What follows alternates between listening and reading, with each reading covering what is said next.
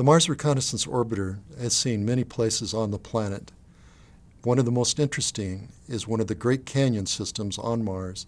This is a branch of that canyon system called Candor Chasma.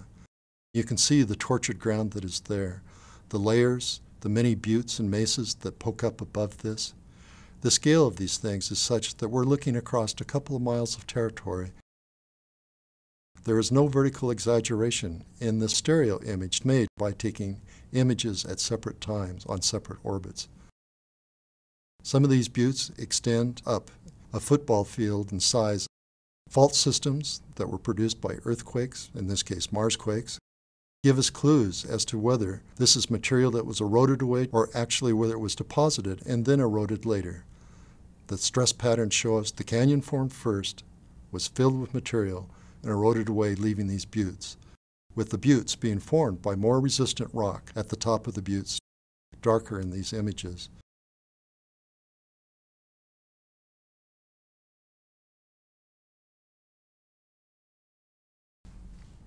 One of the questions we have about Mars is where we see the effects of water on its surface. How did that water get there? It may have been different in different places. Did it erupt from underground, as springs, for instance? Or did it fall from the sky in rainfall? And it may have been associated with events like impact craters. One of those impact craters is Mojave Crater. And here we're going to look at a perspective view that was formed from two images forming a stereo pair. As you can see, Water ponded on the terraces, and then it overflowed and ran down to the next terrace. If you look at the rim of the crater, you see channels that run right up to the top. So these aren't springs. This must have been rainfall that carved this part of the planet.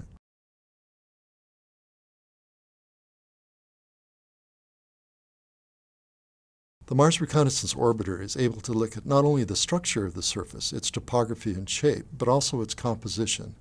We're going to zoom into an area called Nili Fossae that is very diverse, and that's shown here in false color. What we're looking at are the mineral signatures, fingerprints that appear in reflected sunlight, although it's at wavelengths that our eyes are not sensitive to. Straight edges are the edges of the images that were taken. We don't have complete coverage. What we're most interested in here are the areas that are colored green. Those are areas in which carbonates are present. Carbonates indicate that here's an environment that could have been conducive to life, and if not life today, it could have preserved the signature of life that may have occurred in the past. That is, the organic molecules should also be preserved today if they were ever produced on its surface.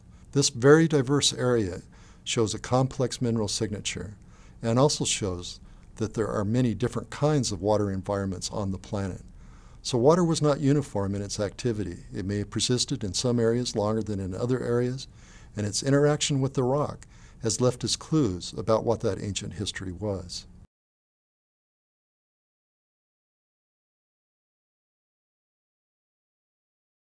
One of the early images taken by the Mars Reconnaissance Orbiter was of Victoria Crater in order to help the Opportunity rover figure out which way to move around the crater as it looked for a way to get down inside. Here you see that image taken from 180 miles above the surface of Mars.